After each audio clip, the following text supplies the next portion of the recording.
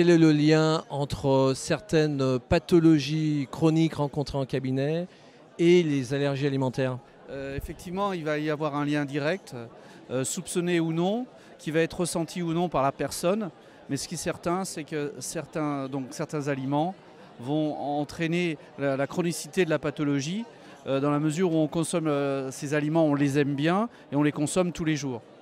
Donc vous allez avoir des pathologies articulaires, des, pathologies inflammatoires qui vont s'installer et qui vont euh, très souvent donc avoir comme cause euh, une cause alimentaire.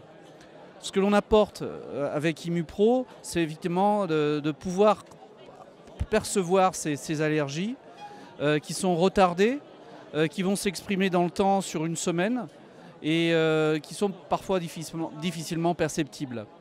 Donc concrètement, la personne qui souffre d'inflammation chronique va pouvoir euh, disons, être plus sélective dans son alimentation, une alimentation personnalisée, une alimentation qui va permettre d'éteindre le feu, si on parle d'inflammation, mais qui dans le temps euh, va permettre de réparer euh, très souvent l'origine, c'est-à-dire une porosité intestinale qui s'est installée. la bonne nouvelle, c'est que cette porosité se répare et euh, donc euh, la, méthode, que l'on propose, basée sur les tests effectués, est très simple. On va dans un premier temps éliminer les aliments qui provoquent ces allergies et on va progressivement les réintroduire.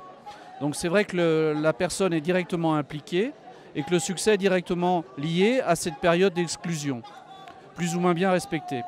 On parle de 5 à 8 semaines et à, à terme de 5 à 8 semaines, on va pouvoir faire une provocation, c'est-à-dire une réintroduction euh, sélective des aliments pour voir si effectivement ils déclenchent non toujours ces problématiques.